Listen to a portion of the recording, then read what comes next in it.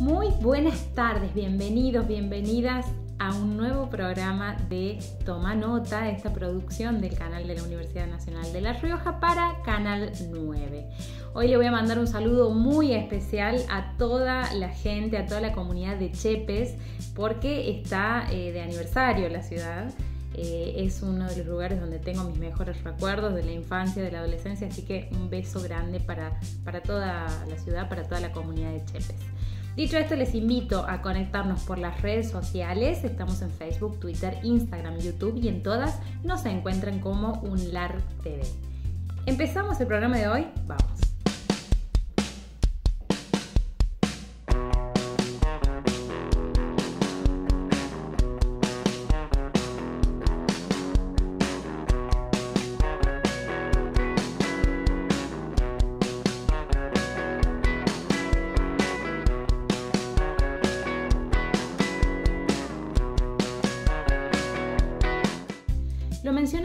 Programas anteriores y es que la UNLAR viene siendo seleccionada por el Gobierno Nacional con distintos proyectos de extensión para eh, combatir el COVID-19, digamos, para paliar o ayudar de alguna manera en esta situación de pandemia.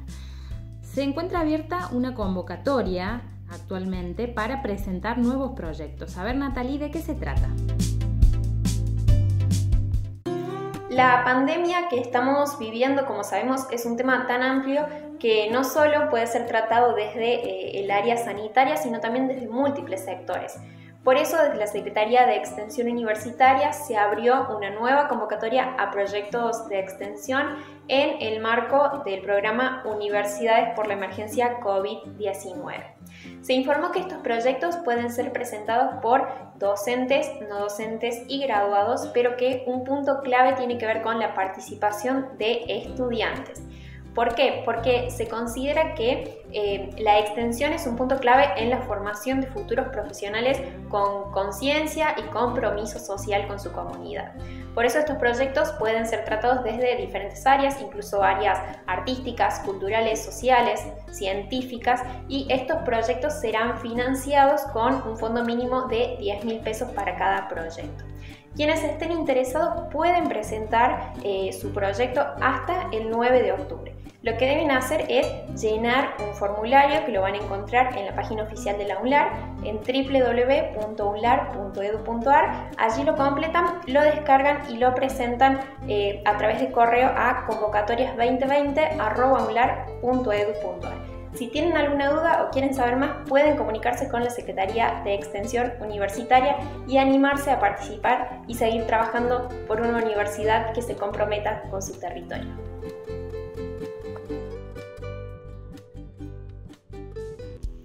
La Universidad Nacional de La Rioja firmó un convenio con el gobierno provincial y la Federación de Deporte Universitario Argentino para fomentar la formación académica en jóvenes deportistas. Veamos la nota. Bueno, la importancia que tiene este convenio que firmamos eh, con el gobierno de la provincia de La Rioja y con la Federación de Deportes Universitario Argentino eh, es importante porque va a permitir a muchos estudiantes que son, eh, hoy están cursando carreras en nuestra universidad, tanto en la capital como en el interior, puedan desarrollar y pensarse también en la participación en eh, actividades deportivas y, prácticas deportivas eh, federadas, participando en, olimpiadas nacionales, internacionales, y que puedan recibir un apoyo, una beca desde el Ministerio de Deporte de la Nación y que puedan seguir formando parte de la vida académica en la universidad. Esto es una, digamos, esto es fortalecer una política de deporte universitario importante que tiene el apoyo de dos ministerios nacionales, el Ministerio de Educación de la Nación y el Ministerio de Deportes además del trabajo de la federación, por todo el acompañamiento que incluso ha hecho en estos años de participación en olimpiadas universitarias, en la región, a nivel nacional, a nivel internacional, y bueno, y esto le va a permitir a nuestros estudiantes que eh, puedan eh, llevar adelante estas dos carreras, la carrera deportiva y la carrera universitaria. Le damos la bienvenida a nuestro columnista tecno de Toma Nota, Fernando Álvarez Méndez, que llega con cuáles son las políticas de contenido de YouTube y las novedades en desarrollo para WhatsApp. Hola amigos y amigas de Toma Nota, ¿cómo están? ¿Cómo les va? ¿Cómo andan? Bienvenidos a este bloque de tecnología. Entramos cortito con uno de los temas que es el avance que promovió WhatsApp en las últimas horas. Todavía no llega a Argentina, pero va a llegar a nuestro país que es la actualización que te da la posibilidad de colocarle un temporizador a tus mensajes de voz, a tus GIF, a tus videos, a tus imágenes y a los archivos que puedas mandarle a otra persona. Exacto, así como, como ¿qué? ¿Cómo? ¿Cuándo? Ok, va así. Eh, vos cuando, cuando los mandás, la otra persona le da clic si es que tiene para que se descargue automáticamente en su pantalla de conversación, si no cuando la descarga, al momento de descargar aparece un circulito verde con un tiempo predeterminado que vos podés manejar sobre todo los mensajes de voz. En la plataforma WhatsApp está la aplicación, está tratando de eh, ver si con las imágenes, con los videos o con los GIFs son un poco más previsivos. Pero por lo pronto, por lo pronto, en los mensajes de voz vos vas a poder colocarle el tiempo estimado, que puede ser el mismo tiempo que dura el mensaje, que es lo más racional, o podés agregarle hasta 5 minutos más, porque que el mensaje dure 3 minutos no quiere decir que lo van a escuchar en 3 minutos. Muchas veces puede ocurrir cualquier otra situación que implique que uno pueda pausarlo y volver a dar play. Esto por un lado. Por otro lado, también la plataforma publicó que en los videos y en las imágenes hay muchas quejas de los usuarios y esto tiene que ver con los relevamientos que hacen a cada tanto preguntándole a las personas qué opinan de la plataforma. Hay relevamientos de los usuarios en donde dicen que la cantidad de imágenes y de archivos que se almacenan vuelven mucho más lentos sus teléfonos. Los desarrolladores del sistema operativo también se han quejado y lo han planteado, no solo con WhatsApp, sino también con Facebook Messenger y con el chat unificado que tienen ahora con Instagram. Por lo cual, la plataforma, todas dependen de Facebook, va a decidir, por lo menos en WhatsApp, en una primera instancia, colocarle un temporizador automático de hasta 10 minutos de duración de la imagen una vez que uno la descarga o le da play dentro de la conversación. Esto todavía está en fase beta, todavía no está utilizado ni desarrollado en gran parte del mundo, al principio Estados Unidos, y lo están probando, están viendo cómo reacciona la gente y en este sentido es muy importante que eh, uno pueda estar atento a que pueda llegar en Argentina en cualquier momento. Así que a estar atentos con ese dato. Y después por otro lado, vamos a aprovechar estos minutos para charlar un poco sobre las políticas de privacidad y las políticas de publicación de YouTube.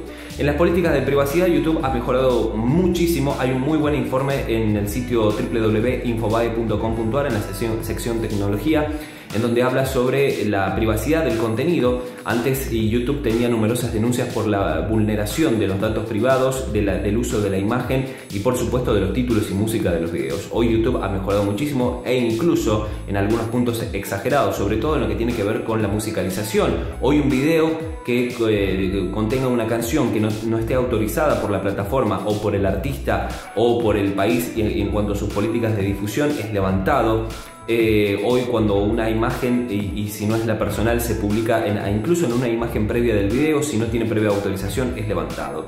Eso por un lado. Después por otro lado, las políticas de publicación. Hubo muchas quejas eh, eh, en las últimas semanas constantes, en las últimas semanas sobre usuarios que establecían que YouTube arbitrariamente levantaba su contenido. YouTube lanzó un comunicado oficial en donde asegura que la empresa es muy rigurosa en, en materia de control de acuerdo a los contenidos que se suben. Obviamente muchísimo contenido de sexual en los videos y eso está prohibido en la plataforma. Lo que entiende la empresa es que YouTube es una, una plataforma familiar, por lo cual entienden que cualquier contenido que se pueda entender como sexual está prohibido.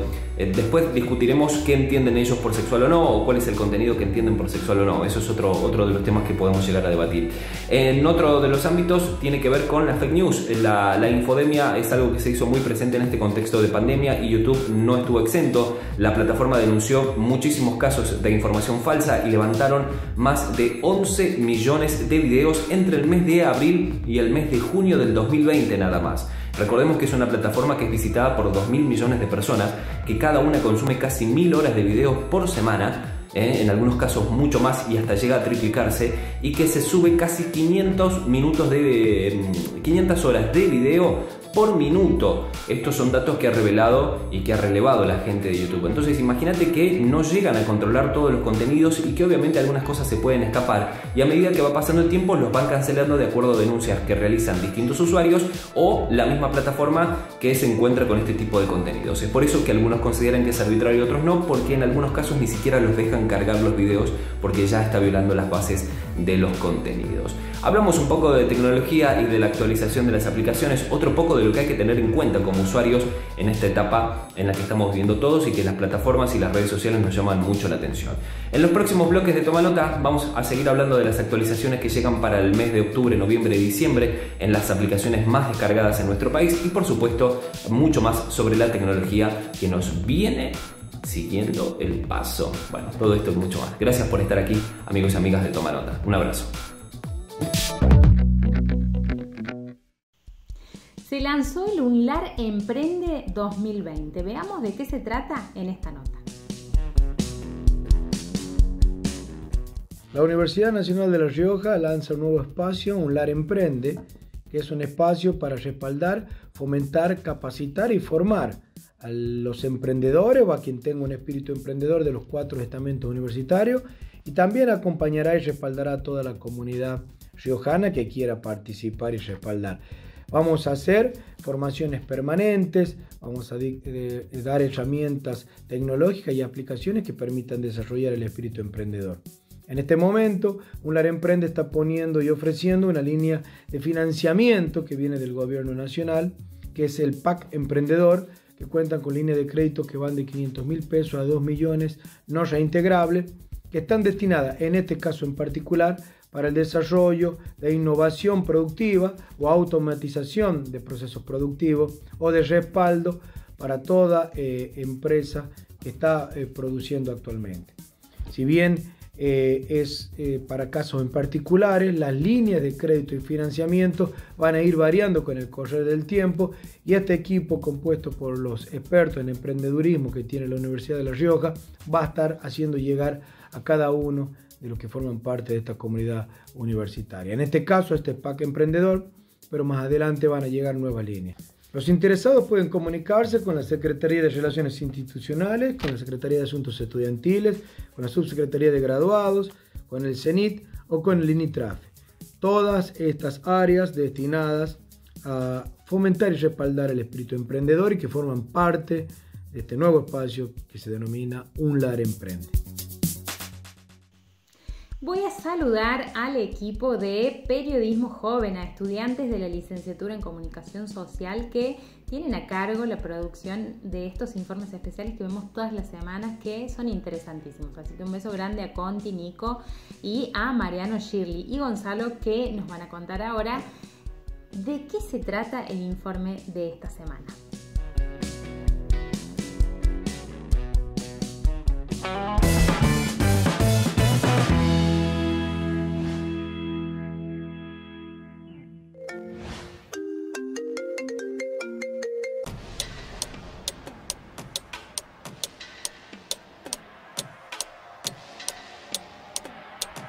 ¿Dormir o dormir poco?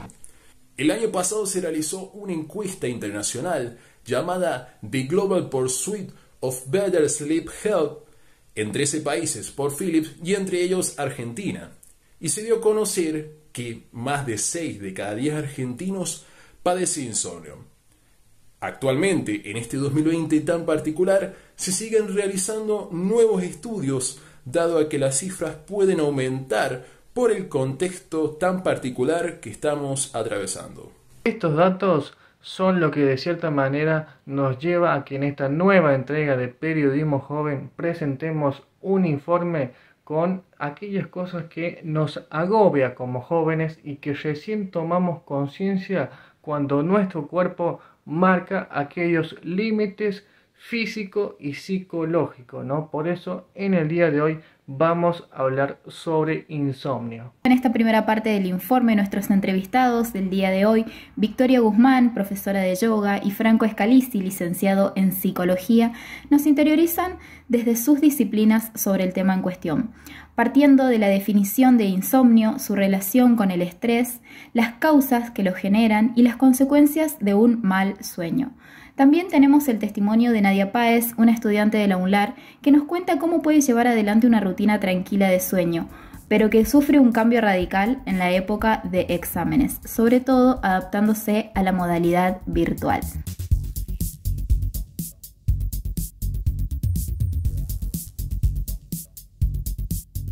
Cuando hablamos del insomnio, hablamos de la dificultad para conciliar el sueño o en caso de estar durmiendo, sufrir demasiadas interrupciones durante el periodo de descanso. Eh, ¿Qué hago antes de dormir? Bueno, eh, me lavo los dientes, me lavo la cara y me coloco la crema de noche. ¿A qué hora suelo acostarme? Bueno, eh, tipo once y media, una, depende del día productivo que tuve. ¿Y cuántas horas diarias suelo dormir? Entre 7 u 8 horas. ¿Y qué hago con la vuelta de los finales? Bueno, em, es difícil ya que em, estamos mediando con una pandemia a nivel mundial y también cuesta adaptarse a lo virtual. Eh, también te entra ansiedad si es que vas a rendir en estas mesas, te entra ansiedad, te entra preocupación de saber cómo será lo virtual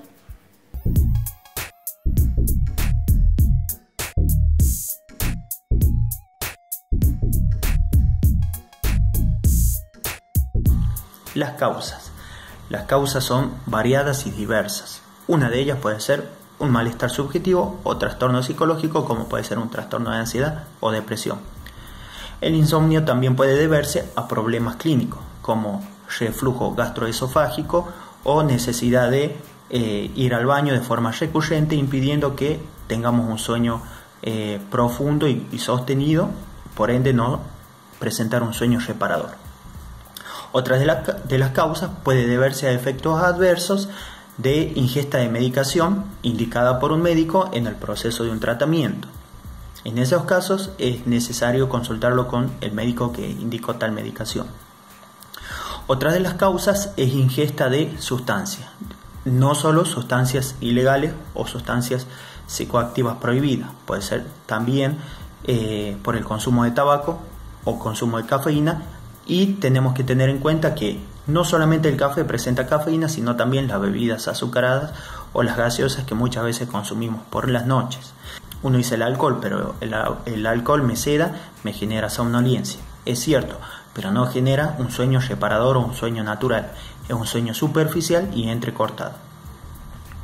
Otras de las causas pueden ser malos hábitos o hábitos desafortunados. Los malos hábitos, una vida desorganizada, dormir por la mañana, despertarse después del mediodía, tratar de dormir temprano por la noche en ese día o cosas por el estilo. Siestas prolongadas también, sedentarismo, eh, inactividad hogareña o fuera del hogar. Puede deberse también, decía, a hábitos desafortunados. Uno de ellos, por ejemplo, y es muy común en estos tiempos, eh, son los horarios laborales. Por ejemplo, los horarios laborales eh, rotativos.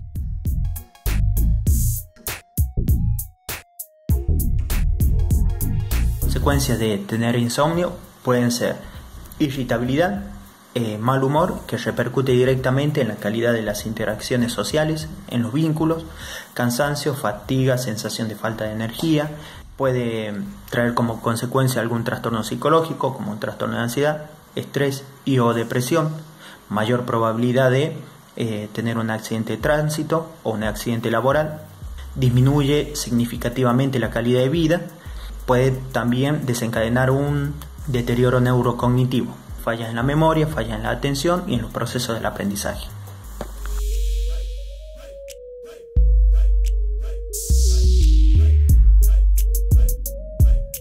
Se puede decir que el estrés es una reacción que se genera ante ciertas situaciones que las percibimos como una amenaza. Entonces el cuerpo se pone en alerta para que podamos reaccionar rápido ante esta situación y poder cumplir Generalmente en los jóvenes se origina por los cambios, porque muchas veces están pasando en esa etapa, pasan de la escuela a la universidad o de la universidad al trabajo y estos cambios generan un poco de estrés. También al ser estudiantes, ya sea de escuela o universitario, el tema de los exámenes genera también estrés, presión, el querer cumplir, llevar la materia al día, también el comportamiento de los padres, si son padres demasiado exigentes, y por otro lado, la aceptación social genera demasiado estrés el querer constantemente querer, querer encajar, digamos. Continúan las capacitaciones en perspectiva de género para autoridades de la UNAR. A ver, Natalie Lotier, ¿cuándo serán las próximas charlas de la ley Micaela? Desde su aprobación, la ley Micaela, la ley número 26.499, marcó un antes y un después en muchas áreas de nuestro país, en muchas áreas públicas, por la capacitación que se prevé en cuestión de género. El Consejo Interuniversitario Nacional se encuentra adherido y, por supuesto, también la Universidad Nacional de La Rioja. En ese sentido, eh, el próximo 9 y 19 de octubre se llevarán a cabo dos encuentros sincrónicos con eh, quienes participen de, esta capacitación, que está dirigida a integrantes del Consejo Superior, integrantes de los consejos departamentales y también direcciones y coordinaciones de carrera. Em, de esta forma también habrá otros encuentros que serán asincrónicos a través de, una plataforma, de una aula virtual y se van a presentar distintos trabajos para ver el avance de los participantes. De esta forma, eh, la universidad sigue trabajando en cuestiones de género y avanzando hacia una universidad más equitativa, que es un punto esencial en estos momentos que estamos viviendo.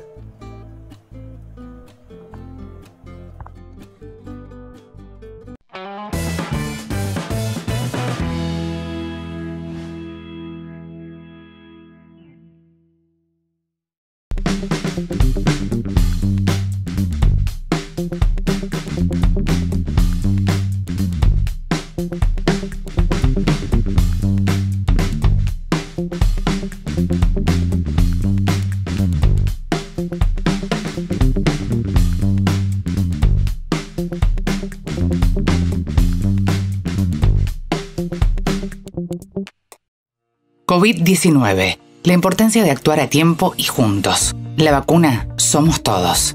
Ya sabemos que lo más importante para enfrentar esta pandemia es la prevención, como el lavado de manos frecuente y respetar el aislamiento social obligatorio. ¿Por qué? El coronavirus es una molécula de proteína recubierta por una fina capa de grasa. La espuma de jabón es capaz de destruir esa grasa y desintegra al virus. Cualquier jabón sirve para lograr este efecto. Por eso es muy importante lavarnos las manos antes de comer y cocinar y en especial al volver de la calle o lugares públicos donde pudimos estar en contacto con el virus. Para que el lavado de manos sea efectivo es importante hacer mucha espuma y frotarse bien toda la superficie de las manos durante más de 30 segundos. La otra medida fundamental es mantener la distancia social y quedarnos en casa. La evolución futura de esta pandemia depende de cómo actuemos hoy. Si no respetamos el aislamiento, la infección se puede propagar rápidamente. Miles de personas se enfermarían al mismo tiempo. No habría suficientes recursos, personal médico ni equipamiento para tratarlas. Y deberíamos lamentar muchas muertes evitables. En cambio, si nos quedamos en casa y respetamos el aislamiento social, podemos lograr que los contagios se den mucho más lentos en el tiempo y garantizar la atención adecuada para todas las personas que requieran cuidados hospitalarios especiales. Así vamos a salvar más vidas. Por eso, pensá que cuando te quedas en casa te estás cuidando y además proteges la salud de los demás. Hoy, la vacuna contra esta pandemia se llama Solidaridad y está en las manos de todos y todas. Cuidarte es cuidarnos.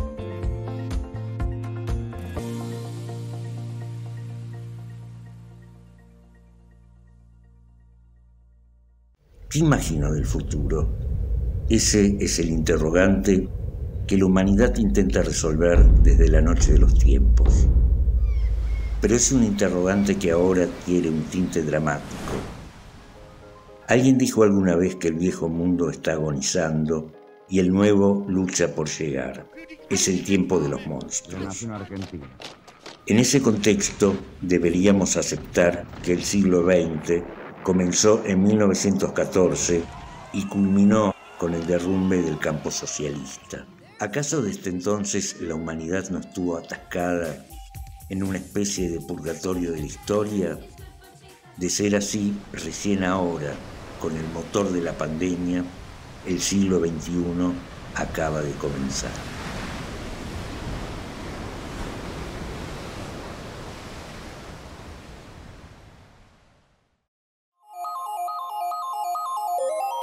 Dicen que la ciencia está en todos lados, pero acá te mostramos sus caras. Conciencia Riojana, un programa para conocer las investigaciones científicas de La Rioja y sus protagonistas. con la conducción de Juana Baltroni. Conciencia Riojana, una producción de UNLAR TV.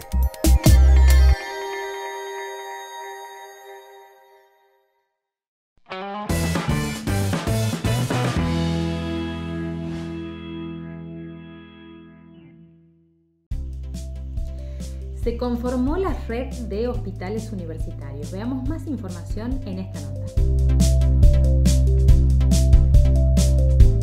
creación de una red hospitalaria universitaria es una larga eh, deuda, trabajo que venimos realizando desde las universidades nacionales para que los dos ministerios, el Ministerio de Educación de la Nación y el de Salud, acompañen el fortalecimiento, la jerarquización con recursos, con los programas nacionales en el ámbito de salud que puedan eh, llegar a los hospitales universitarios. Y además esta red va a fortalecer, va a potenciar el gran trabajo asistencial que se viene desarrollando, que ahora se le agregaría todo lo que es la actividad de investigación, de trabajo de red eh, territorial y todo lo que es el acompañamiento en recursos que necesitamos para el funcionamiento de los mismos. Eh, nosotros esta red la celebramos profundamente entre la UBA, eh, la Universidad de Córdoba, la Universidad de Cuyo y la UNLAR y además celebramos que en el presupuesto del año que viene vamos a tener, después de mucho tiempo, vamos a recuperar el ítem de hospitales universitarios, que es un fondo de un millón, de 1.800 millones, que nos va a permitir también eh, ser destinatario de estos fondos para fortalecer y potenciar y jerarquizar todo el trabajo asistencial que en este contexto de COVID cobró gran notoriedad para la población.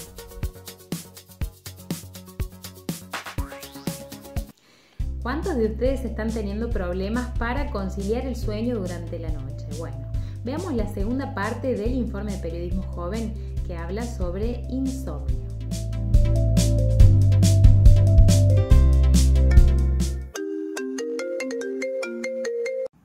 Como vimos, aunque nos cueste descansar de noche, es necesario priorizarlo. De lo contrario, la fatiga se apodera de nosotros hasta querer llegar a desistir con todas nuestras tareas e incluso hasta no sentirnos capaces de nada. Es cierto que con la pandemia del COVID-19 hemos trasladado todas nuestras actividades a la virtualidad. Y así pasamos mucho más tiempo frente a las pantallas. Ahora por cuestiones laborales, por cuestiones de ocio o también académicas y esto hace que tengamos una sobrecarga de información y que estemos en un estado de alerta constante. En esta segunda parte vamos a tocar todas aquellas eh, preocupaciones de los jóvenes dentro del ámbito educativo, ¿no? Es por eso que vamos a tener eh, varias voces. Por un lado, la del docente que nos va a estar contando, eh, bueno, cómo ven los comportamientos de los jóvenes en estos tiempos de pandemia, todo lo que tiene que ver con eh, la reprogramación de exámenes finales, el cansancio, el estrés, eh, cómo hacen con los chicos con los horarios de consulta y bueno, también aquellos consejos para eh, no autoexigirse. es por eso que nos comunicamos con Carlos Navarro, que es docente de la carrera de comunicación social. Por otro lado, tenemos la palabra de los alumnos. Tenemos dos estudiantes de la Universidad Nacional de La Rioja. Eh, se trata de eh, Gastón Dávila, estudiante del traductorado, y Carlos Vara, estudiante de comunicación social. Ambos nos van a estar dando un pantallazo en cuanto al problema a la hora de concebir el sueño. Eh, lo que tiene que ver con el teléfono, estudiar de noche, el café, bueno, varios factores que influyen a que el insomnio de alguna manera forme parte de sus vidas. Todo esto y mucho más en la segunda parte de Periodismo Joven.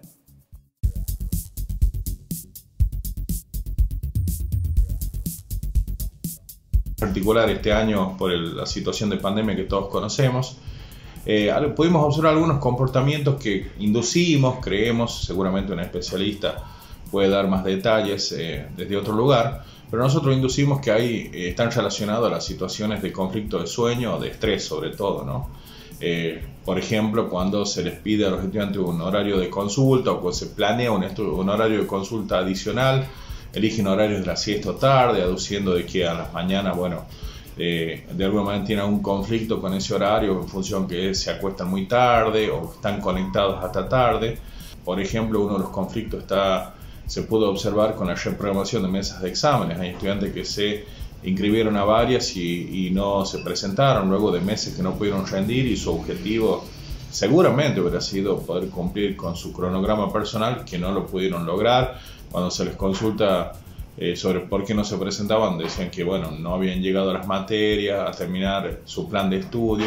Este año, reitero, eh, por ahí se necesitó, se requirió de los docentes un contacto más personalizado con los estudiantes. Cuando uno habla con ellos, trata de sugerir que no ser tan ambiciosos en la, en la programación, tratar de, de cumplir con los prácticos uno a uno, de tratar de ponerse objetivos concretables de que por ahí no ser tan autoexigentes con la superproductividad en este contexto que cada uno lo vive de diferentes maneras, también de que se desconecten por momentos, la sugerencia que le hace uno, no solamente a un estudiante, sino a una persona eh, o un familiar un amigo.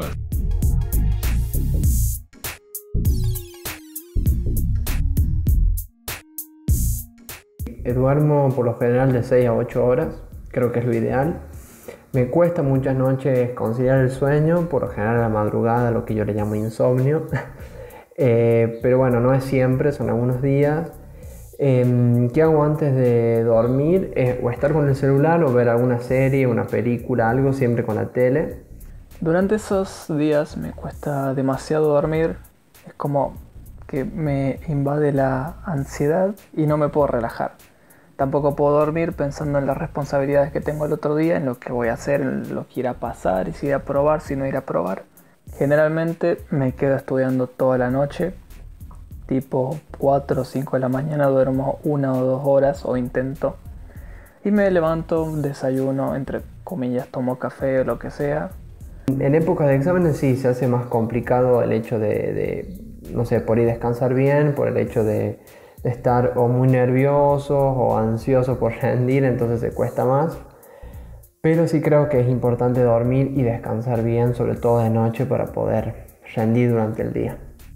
El insomnio es una parte de mi vida, la, lo sufro constantemente y de hecho estoy acostumbrado a funcionar con como mucho cuatro horas de sueño y se nota más en la universidad, que es donde mantengo los horarios de levantarme bien temprano y todo, o sea, es muy feo, pero estoy acostumbrado y nada, hay que estudiar, hay que aprobar y no voy a poder descansar hasta que no pruebe todo.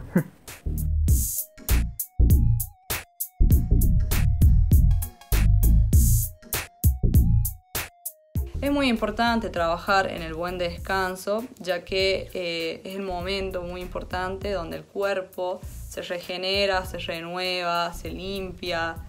Y entre esos beneficios también está que se protege el corazón, se refuerza el sistema inmune, se mejora el rendimiento físico. En primer lugar, tener un nivel de actividad óptima en el transcurso del día, para llegar con un sentimiento de autosatisfacción y cansancio a la noche.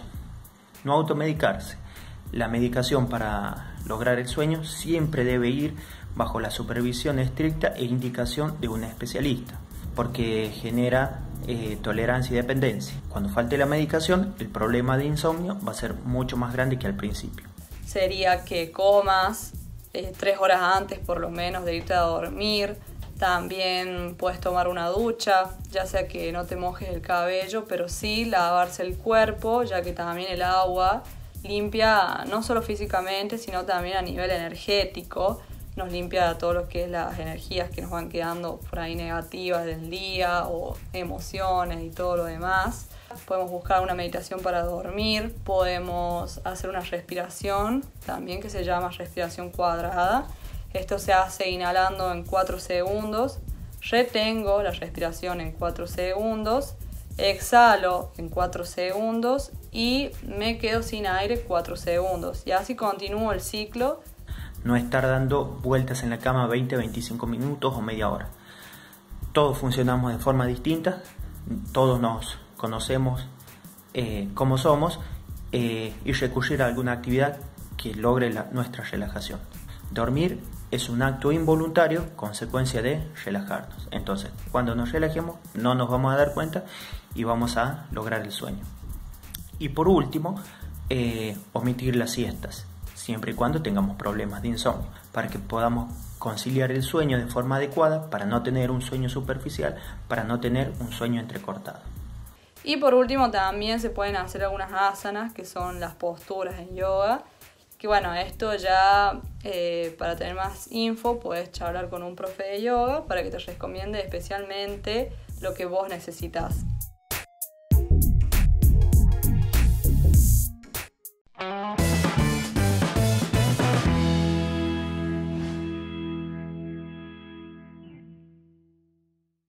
Habilitamos tres unidades en la terapia intensiva complementarias a ese sector de seis camas. Vimos que no era suficiente, entonces con fondos de la universidad, con fondos extraordinarios que envió el gobernador de la provincia y articulados con el ministro de Salud, comenzaron las obras intensas para habilitar un primer sector de habitaciones donde se está trabajando en este momento para pasar a un segundo sector de unidades con lo cual se van a completar 18 habitaciones con doble cama, es decir, 36 camas más unidas a la que ya tenemos, complementadas por obras externas en el hospital, sobre todo una obra que va a colocar un módulo específico que va a estar entre el ingreso de los pacientes al hospital por el hospital de día y la decisión o no de llevarlos al internado. Vamos a ampliar una oferta del hospital de 50 a 60 camas eh, como unidades de aislamiento, que creo que es el aporte que en este momento va a ser la universidad, en este caso a través del hospital escuela, como una devolución a la sociedad, una función sustantiva de la universidad en la vinculación con la sociedad. De esta forma, a través del hospital, la universidad está devolviendo a la sociedad el aporte que ellos están haciendo.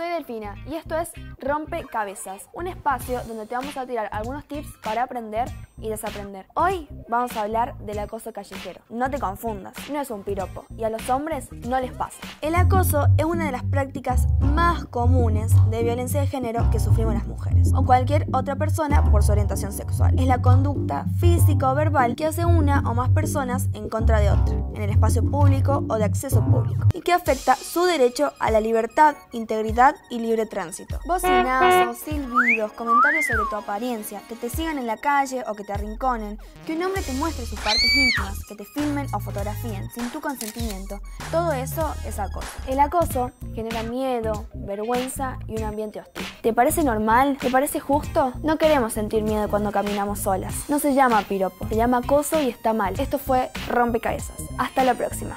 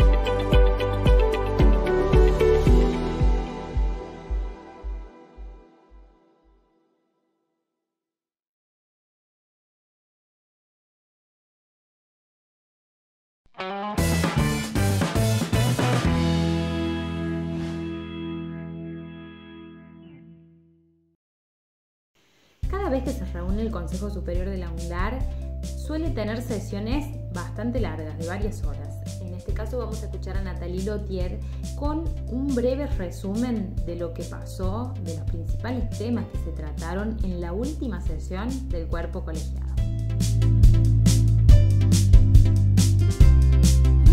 El Consejo Superior de la UNLAR tuvo su sexta sesión ordinaria de manera virtual como se viene realizando hasta el momento.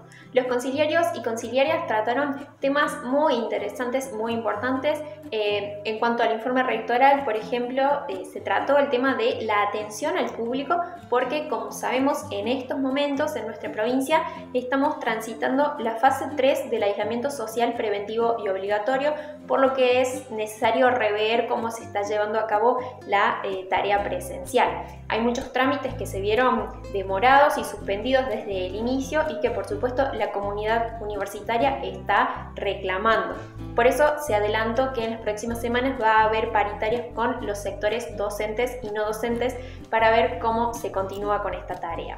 Otro tema que se trató fue desde la Secretaría de Asuntos Académicos a cargo de Miguel Molina por el tema de la presentación de documentación para los ingresantes que todavía la adeudan. El plazo correspondiente es hasta el 30 de octubre, pero la idea es poder dialogar con el Ministerio de Educación para poder extender este plazo.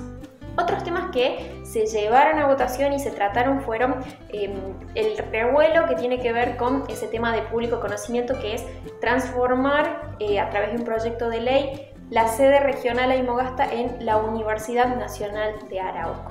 Por amplia mayoría, 36 votos a favor y 2 abstenciones, se votó por la negativa de este proyecto. El cuerpo también se pronunció, por supuesto, a favor de que se creen instituciones educativas en la región, pero defendiendo el patrimonio que tiene que ver con la Universidad Nacional de La Rioja. Otro tema que se trató y que fue eh, votado por unanimidad fue otorgarle un reconocimiento, un diploma de honor a 240 trabajadores y trabajadoras del hospital universitario que desde el principio de la pandemia se encuentran en la primera línea de batalla contra el COVID-19. Son trabajadores docentes y no docentes que van a recibir este reconocimiento por su ardua labor. Fue un consejo superior bastante interesante, bastante cargado de, novedades, de noticias. Este es más o menos un resumen de lo que sucedió y esperamos en las próximas semanas tener más novedades. Capitán Vicente es un proyecto transmedia impulsado desde la Cátedra de Comunicación Multimedia de la Licenciatura en Comunicación Social propone conocer de manera transversal a través de distintas plataformas la vida de Vicente Almandos Almonacid y fue declarado de interés provincial por la legislatura riojana. En esta nota ampliamos la información. Dicho proyecto tiene como misión principal poner en valor la vida y obra de quien fue Vicente Almandos Almonacid, un ingeniero experto en aviación, como así también una gloria de la aeronáutica nacional es por ello que queremos poner en reconocimiento su vasta y sobresaliente tarea a lo largo de los años a beneficio de su país, como así también sus innumerables hazañas y méritos. Entre ellas se encuentra la del cruce de los Andes en vuelo nocturno, al cumplirse este año un centenario de aquella inolvidable hazaña realizada por Vicente en 1920. Este proyecto se caracteriza por ser un proyecto transmedia, ya que la construcción del relato se divide por diversos medios, por múltiples plataformas y no es solo un contenido. Es por ello que con mis compañeros nos hemos dividido en diferentes comisiones en las que cada uno trataba diferentes contenidos y realizaba una parte de la historia. Por otra parte, la legislatura de la provincia de La Rioja acaba de declarar el interés provincial y cultural del proyecto Capitán Vicente. También ha declarado el interés en la propia personalidad de Vicente Almandos Almonacid al cumplirse 100 años del primer vuelo nocturno de la cordillera de los Andes. Tiempo atrás recibíamos la noticia de la declaración de interés educativo de este proyecto por parte del Ministerio de Educación del gobierno de la provincia. Invitamos a ser parte de esta gran aventura pueden ingresar a nuestra página web www.capitanvicente.com.ar, como así también a nuestras diferentes redes. Capitán BLR y en Facebook como Vicente Almandos Almonacid.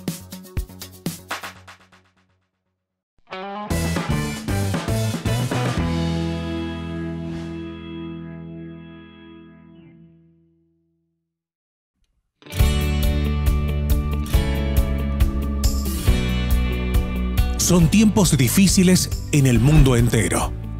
Tiempos donde lo importante, aunque muchas veces olvidado, hoy es más importante que nunca. En la ULAR trabajamos desde hace mucho tiempo para responder con hechos a las necesidades de nuestra sociedad. Este es el momento de hacerlo. Por eso, nuestro hospital, escuela y de clínicas recibe a los pacientes con COVID-19. Allí funciona uno de los 20 laboratorios que detectan el virus en todo el país y 60 camas ya están disponibles para responder a las situaciones clínicas de estabilización con la tecnología necesaria. Nuestros profesionales de la salud trabajan en la primera línea de fuego y los y las docentes siguen abocados a la investigación y extensión para atender la problemática sanitaria. La UNLAR releva el hambre, el dengue y el coronavirus en la provincia y la situación de estudiantes que no pudieron regresar a sus hogares por la cuarentena. Organiza la red de voluntarios y voluntarias que fabrican elementos de protección. Se solidariza con quienes más lo necesitan. Coordina acciones con otros organismos para llevar soluciones a toda la provincia y propone actividades virtuales para hacer más llevadero el aislamiento, brindando especial atención a adultos y adultas mayores. La distancia social nos interpela y nos desafía. Por eso, la UNLAR cumplirá con el calendario académico 2020, con más de 22.000 estudiantes y 1.500 docentes en 5.000 cátedras virtuales. Dictamos las clases y seguimos reforzando los sistemas tecnológicos para garantizar la educación. Mantenemos y cuidamos nuestra institución. Y cuando todo esto pase, volveremos a encontrarnos en nuestra casa.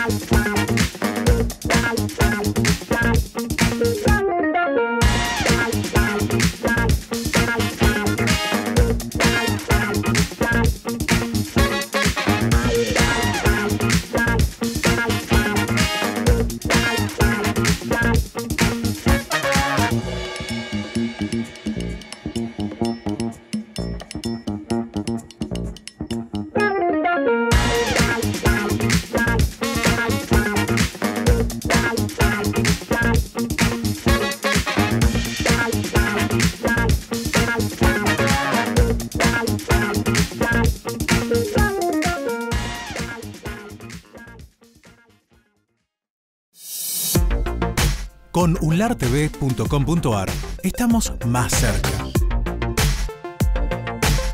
Podrás ver la realidad universitaria y novedosas producciones desde la compu o el celular. Actualidad, ciencia, culturas alternativas, arte y ficciones riojanas con la mirada de la Universidad Nacional. Interactúa y participa en nuestras transmisiones en vivo.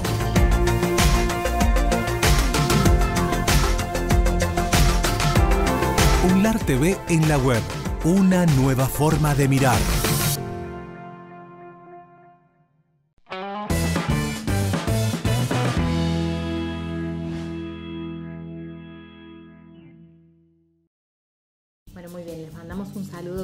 Todo el equipo, a los profes y a eh, los estudiantes de Capitán Vicente. Y bueno, la invitación queda hecha para que vean, para que ingresen a las distintas plataformas. No se lo pierdan porque van a ver varias caras conocidas de Toma Nota.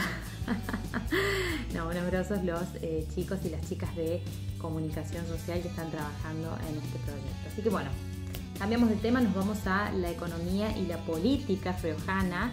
Y para eso le damos la bienvenida a nuestro compañero Matías Mera Gelman. Muy buenas tardes, Matías, ¿cómo estás? Hola, Pachi, qué gusto escucharte y verte. Igualmente. Bueno, vamos con la información. Dale, arranquemos con repasar algunos temas para tener más o menos claro dónde estamos en la semana.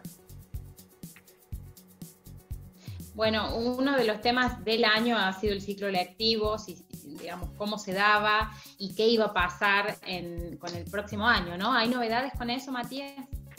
Bueno, son momentos de definiciones que tienen que ver fundamentalmente con qué va a estar ocurriendo alrededor de cuándo termina.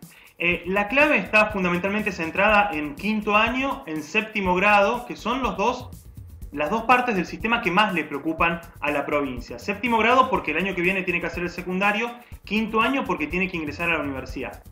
En principio, lo que se está pensando es extender el ciclo lectivo 2020 hasta los primeros dos meses del ciclo lectivo 2021. Es decir, que quinto año 2020 termine el 30 de abril del 2021. Esto todavía no está finiquitado, se está debatiendo, pero la idea sería que los ingresos universitarios también se posterguen un poco. Es decir, que los chicos puedan terminar su quinto año en los primeros dos meses del ciclo lectivo del año que viene, marzo y abril, y que las universidades habiliten que las inscripciones también sean un poquitito más tarde, para permitirles a los chicos terminar justamente el nivel del secundario. Con la primaria ocurre algo similar, quizás con una gran ventaja que es que el sistema educativo primario y secundario todo pertenece al Estado provincial. Entonces, el Estado provincial puede regular alguna situación en particular. Pero la intención sería lo mismo.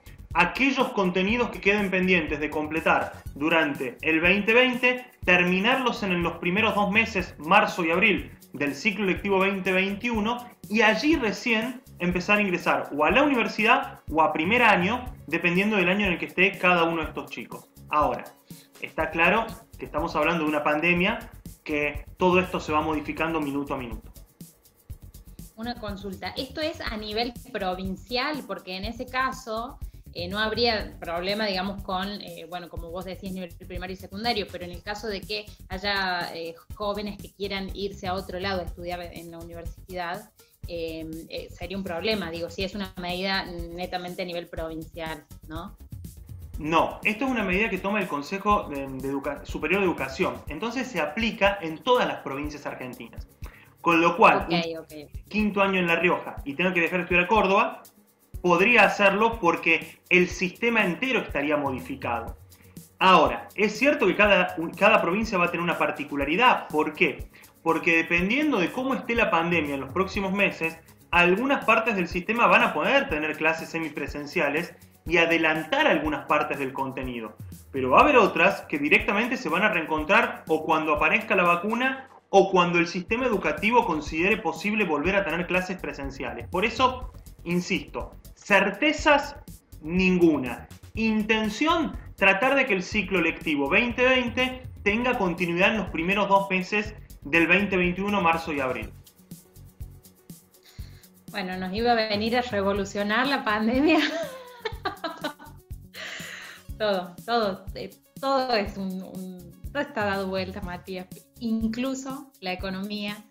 Y este, bueno, yo siempre a usted lo, lo, cargo, esto de, ay, ¿cuándo va a traer buenas noticias? Evidentemente, esta noticia no es buena, pero si la hacemos, la hacemos bien. ¿Cuándo será el peor momento económico de la pandemia, Matías? Claro, porque mientras nosotros estamos saliendo al aire, en un par de horas se va a estar conociendo el dato de la pobreza del primer semestre del año.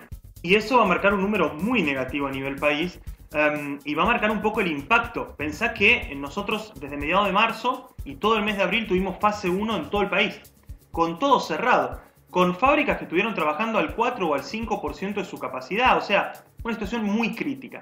Eso va a aparecer en esta medición de la pobreza del primer semestre que va a informar el INDEC ahora dentro de un ratito. Lo que sí hay que tener claro es que la gran duda es, ¿ese es el techo o el piso o ese es el peor momento o no de la crisis económica? ¿Por qué? Porque como esta pandemia, como charlamos recién, todo el tiempo va y viene y nos permite habilitar y cerrar diferentes espacios de fase 1, fase 3, fase 5, vamos y venimos, no está claro si aquel fue el peor momento o todavía habrá que esperar, esperar alguna situación más compleja. Mira el caso de La Rioja, que el peor momento económico puede haber sido en abril, pero después en julio de vuelta tuvimos fase 1, comercios todos cerrados. Em, ahora en septiembre con fase 3, es decir, hay una oscilación permanente. Los más optimistas, y eso para contarte una buena noticia, los más optimistas creen que estos datos económicos del segundo trimestre, abril, mayo y junio, o el primer semestre, enero, julio, van a ser los peores. Y que vamos a empezar a ver algunos números un poquitito mejores cuando veamos los resultados de lo que está pasando agosto, septiembre y octubre. Habrá que verlo si es así, pero se abre la expectativa. Lo que sí es cierto es que en un ratito vamos a conocer un número muy duro de la pobreza en la Argentina con el impacto de la pandemia. Bueno, esperemos que sea el número que sea, podamos eh, pensar, este, digamos, estrategias sobre cómo seguir adelante, ¿no? Porque, eh, bueno, uno al último le busca siempre como, como, la vuelta de hacer más llevadero todo lo que está pasando Em, pero la verdad es que probablemente sean números duros, bastantes, eh, que en realidad van a reflejar o sea, lo que está pasando en el día a día. Es como tener el dato frío y poder decir, bueno, ¿qué hacemos con esto? Me parece más que nada, ¿no? Sí, teniendo claro que es muy probable que en el caso de La Rioja el número sea un poquito menor que lo que pasa a nivel país, porque la presencia del Estado en La Rioja es tan grande y como el Estado siguió pagando sueldos, no despidió empleados, a diferencia de lo que pasó con el sector privado en todo el país, es muy probable que la pobreza en La Rioja tenga una referencia un poquito menor de lo grave que va a ser a nivel nacional. Pero, indudablemente, está claro que sin aumento de sueldo los estatales todavía, con una inflación interanual del 40%, con un sector privado muy golpeado, uno tiene que pensar que la pobreza, que se va a conocer en un rato, también va a marcar un momento muy crítico en la provincia.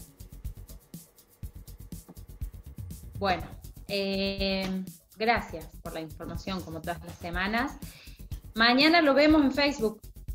Sí, mañana vamos a estar con una persona muy particular, vamos a estar hablando con Ricardo Silva, un personaje muy interesante, artista, músico, escritor, formador de bandas icónicas de la provincia de La Rioja, un hombre que se fue a viajar por el mundo, que trabajó de mil cosas, una historia de vida como para conocer, una persona muy pero muy interesante, lo vamos a estar mañana a las 10 de la noche repasando en la plataforma de Unlar TV. Bueno, en el Facebook Live de Unlar TV, ya saben, arroba Unlar TV, lo encuentran ahí mañana jueves 10 de la noche. Eh, perdón, Ricardo Silva me dijiste, ¿no? Sí, señor.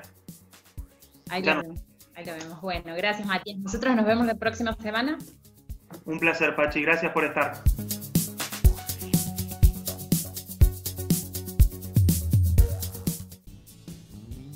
Bueno, hemos llegado al final de este programa se nos ha pasado volando esta horita.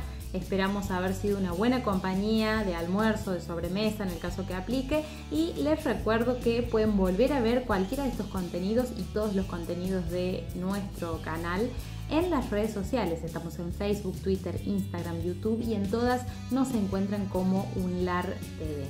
Les deseo que tengan una hermosa semana. Nosotros nos encontramos el miércoles a la una de la tarde por Canal 9. Hasta la próxima, que estén bien.